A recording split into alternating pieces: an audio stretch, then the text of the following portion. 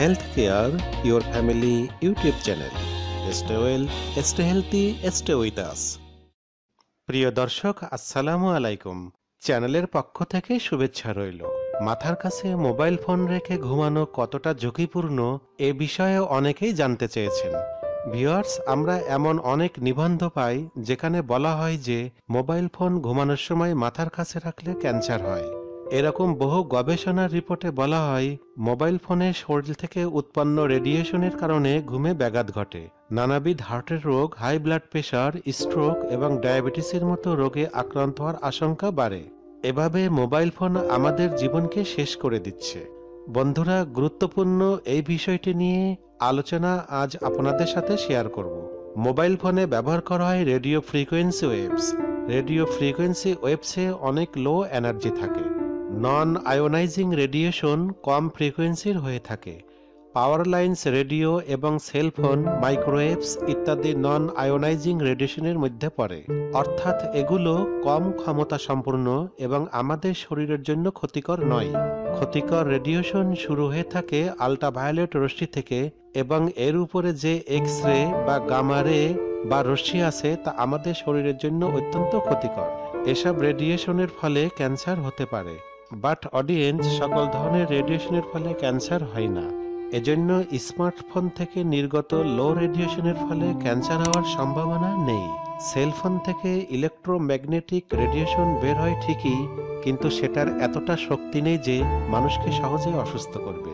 বরং মানুষের সেটা সহ্য করার যথেষ্ট ক্ষমতা রয়েছে। ভিউয়ার্স অ্যান্ড সাবস্ক্রাইবার্স, ওয়াইফাইও একটি নন আয়োনাইজিং অর্থাৎ কম এনার্জি রেডিয়েশন। এজন্য ওয়াইফাই বা ব্লুটুথও আমাদের তেমন কোনো ক্ষতি করতে পারে না। বন্ধুরা, তাহলে আমরা কি মোবাইল মাথার কাছে রেখে ঘুমাবো? না, তাও করব না। ওয়ার্ল্ড হেলথ অর্গানাইজেশন বা বিশ্ব স্বাস্থ্য সংস্থার প্রকাশিত রিপোর্টে বলা হয়েছে, মাথার কাছে ফোন রেখে ঘুমালে শরীরে রেডিয়েশনের প্রভাবে প্রাণকোষদের বিকাশে বাধার সৃষ্টি হয়। অস্ট্রেলিয়ান গবেষকগণ বলেছেন, শরীরের কাছাকাছি বেশি সময় মোবাইল ফোন রাখলে স্পার্ম কাউন্ট চোখে পড়ার মতো কমে যায়, ফলে বাচ্চা হওয়ার ক্ষেত্রে নানাবিধ সমস্যা দেখা দিতে পারে।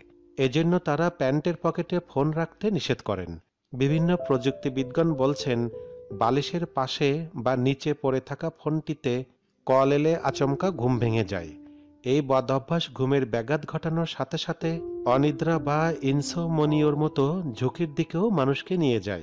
প্রযুক্তিবিদগণ আরও বলেন মোবাইলে অ্যালার্ম সেট করার পর থেকে যতক্ষণ না পর্যন্ত আমরা তা অফ করছি, ততক্ষণ পর্যন্ত মোবাইলের শরীর থেকে অদৃশ্য তরঙ্গ বের হতে থাকে, যেটা শরীরের জন্য ভালো নয়।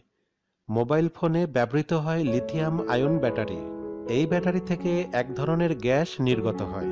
তবে গবেষকরা জানাচ্ছেন, সাধারণভাবে মোবাইলের ব্যাটারি থেকে যে পরিমাণ গ্যাস নির্গত হয় তা প্রাণঘাতী মাত্রার নয়। তবে বিষয়টি সম্পর্কে মোবাইল গ্রাহকদের সচেতনতা হওয়া অবশ্যই প্রয়োজন।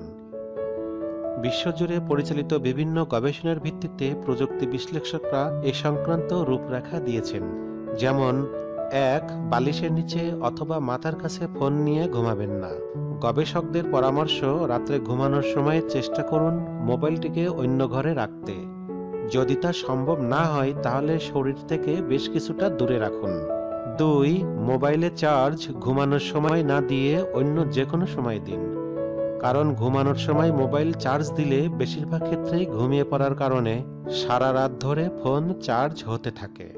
যে কারণে অনেক সময় ব্যাটারি বিস্ফোরিত হয়ে মারাত্মক কিছু ঘটে যাওয়ার আশঙ্কা থাকে। চার্জ দেওয়ার সময়ে মোবাইলে কথা বলা ঠিক নয়, কারণ সে সময় মোবাইলের চারপাশে একটা ইলেকট্রোম্যাগনেটিক ফিল্ড তৈরি হয়। তাই চার্জ অফ করে কথা বলুন। তিন, সিগন্যাল যেখানে ভালোভাবে আসছে না, সেখানে চেষ্টা করবেন ফোন কল রিসিভ না করার। কারণ সিগন্যাল দুর্বল থাকার সময় ফোন থেকে বেরোনো রেডিও ওয়েভের মাত্রা বেড়ে যায়। চার, ফোনে দীর্ঘ সময় কথা না বলে কথা বলা সংক্ষিপ্ত করুন। এক কানে দিয়ে ফোনে দীর্ঘক্ষণ কথা বলবেন না। কথা বলার সময় মাঝে মাঝে এক কান থেকে অন্য কানে ফোন নেবেন। পাঁচ চোখের উপর চাপ কমাতে স্মার্টফোনের স্ক্রিনে বা ফ্রন্টের দিকে দীর্ঘ সময় ধরে তাকিয়ে থাকবেন না। এটা চোখের জন্য ক্ষতিকারক। চোখের উপর ক্ষতির ঝুঁকি কমাতে মুখ থেকে ন্যূনতম ষোলো ইঞ্চি দূরত্বে মোবাইল ফোনের স্ক্রিন রাখার পরামর্শ দেওয়া হয়। এছাড়া আপনি মোবাইল ফোন ব্যবহারের সময় প্রতি বিশ মিনিটের পর কিছুটা বিরতি নেওয়ার চেষ্টা করুন। রাতে অন্ধকার ঘরে ফোন দেখার ফলেও কিন্তু চোখে চাপ পড়ে। এছাড়া মোবাইলের স্ক্রিনের মৃদু নীল আলো আমাদের চোখে রেটিনাতে প্রভাব ফেলে, যা আমাদের মস্তিষ্কে বার্তা পৌঁছে দেয়। চোখে কোনো ধরনের চাপ অনুভব করলে দ্রুত চিকিৎসকের পরামর্শ নিন। অডিয়েন্স সামগ্রিক অবস্থার উপর ভিত্তি করে এটাই প্রতীয়মান হয় যে, দীর্ঘ সময় মোবাইল ফোন ব্যবহারে এবং মাথা ও শরীরের কাছাকাছি রাখলে সেটা ঘুম বা জাগ্রত উভয় অবস্থায় সামান্য হলেও শরীরের ক্ষতি হয়। আসুন, আমরা মোবাইল ফোন ব্যবহারে সচেতন হই। জীবনকে উপভোগ করি। ভালো থাকুন, আমাদের সাথেই থাকুন।